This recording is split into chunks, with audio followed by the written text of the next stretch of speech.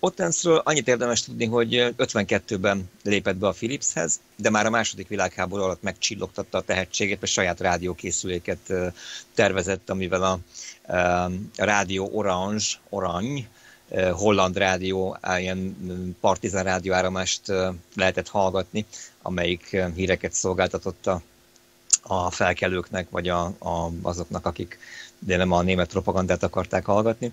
És hát aztán maradt pályán, ugye bekerült a Philips 52-be, és 60-ba megbízták azzal, hogy csináljon valami ilyen kazettaszerű dolgot, ugyanis akkor már létezett egy úgynevezett RCA Tape Cartridge System kazett, ez volt a neve. Ez pont úgy néz ki, mint egy, mint egy kompakt kazett, csak kazetta, csak négyszer akkora, és negyed szolos szavak van benne. És ezen kezdett, a Philips ezt akarta lemásolni, ezzel akart dolgozni, aztán jött Ottens úr, és akkor azt mondta, hogy lehet ez sokkal kisebb is, és érdekes anekdóta, hogy kivágott fából egy, egy ilyen kis fa lapocskát, amit belerakott a saját ingének a mellényzsebébe, és ez volt a prototípusa hm. a kazettának. És onnantól kezdve egyértelmű volt, hogy ami belefér az inkzsebbe, na akkorának kell lenni ennek a, az adathordozónak, és ezt kezdte el megcsinálni. A élete főműve volt, ugye több mint 100 milliárd példányban adták el, de hát ez is csak egy becslés, lehet, hogy még ennél is sokkal többen. És 63-ban debütált a berlini IFA vásáron, ott lehetett először kazettát látni.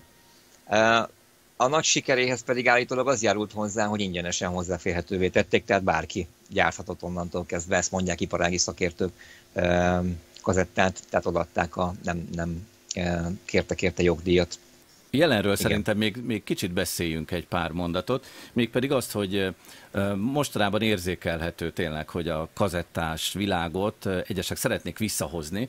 Van olyan is például, aki egy kazett store date szervez, most már ma, majdnem lassan egy évtizede, tehát a, mondjuk a zeneboltok napja, így lehetne talán fordítani, ahol kazettákhoz hozzá lehet jutni, és ezzel akarják a kazettás formátumot életben tartani, vagy revitalizálni, újra behozni a köztudatba. Hát persze ez sok mindenen függ, sok mindentől függ. Pista, neked mi a véleményed a kazettáról? Mert a legutóbbi kazettás műsorunkban Csékádár Péter hangmérnök azt mondta, hogy hát ő dobálja kifele most már a kazettákat, mert hát azért ez őszintén szó egy vacak dolog. Hát elég penetránsan rossz formátum, igen. Tehát én sose szerettem, mert nem, nem egy jó minőségű dolog. Ugye, ahogy Viktor is mondta, ahol az a szempont, hogy elférjen egy zsebbe, ott nem műszaki szempontok az elsődlegesek. Tehát abból a méretből kellett kihozni, amit ki tudtak, ahhoz képest egész jól sikerült, de valójában sose szerettem a formátumot. Néhány kazettámat tartottam meg a több százból, amiken esetleg olyan felvételek vannak, ami valamiért érdekes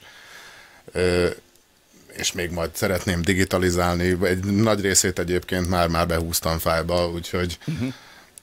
Jó, de az emberek Én nem imádják visszajöjjön ez a, ez a formátum. De az emberek imádják. Tehát Japánban is újraindult a gyártás, meg, meg sokan szeretik, elmondom, most is csereberélnek. Elmondom, miért imádják. Most a legyek is rárepülnek a tehénlepényre, tehát attól, hogy valamit imádnak. És ugyanazért, és ugyanazért attól, imádják. Igen. Ugyanazért, amire a legyek a tehénlepényt. Mert ingyen van, mert olcsó. Amikor a maxeles bejátszónk volt, akkor még egy dolog eszembe jutott, hogy ugye a 2000-es évek elején volt még egy nagy revival hullám, csak amellett valahogy úgy elment a világ csendben, de nagyon sok alternatív zenekar, vagy olyan zenekar, amelyiknek nem volt lehetősége CD kiadására, az berendelt saját magának szalagokat, és ezekre sokszorosította a saját zenéjét, és ezeken árulták. És ez egyébként ilyen a 80-as évek végén is volt az akkori underground zenei életben Budapesten. Tehát a demókazik azok nem csak a Madonnának voltak. Igen, de én tudok a, is nektek a, ilyet mond, mutatni egyébként. Mutass. Ne, nekem is renget, rengeteg van abból az időből. Ah, és, és, ott vannak.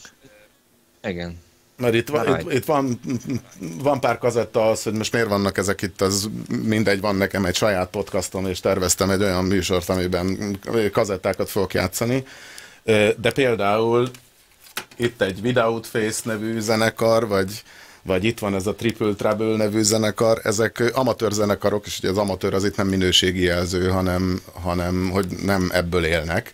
A 90-es évek második feléből, és ezek kis szériás, pár száz darabos kazetta sokszorosítások voltak, igen. Így, így, így Gyakorlatilag van, semmilyen más formátumban ezek nem jelentek meg, tehát azért kincs, És oda mert... jutunk, oda jutunk, hogy a hangmérnök úr, aki az előbb még azt mondta, hogy jó, kukába az egésszel, podcast műsor tervez rá, mert hogy az embereket ez érdekli, mert egy kultúrikon.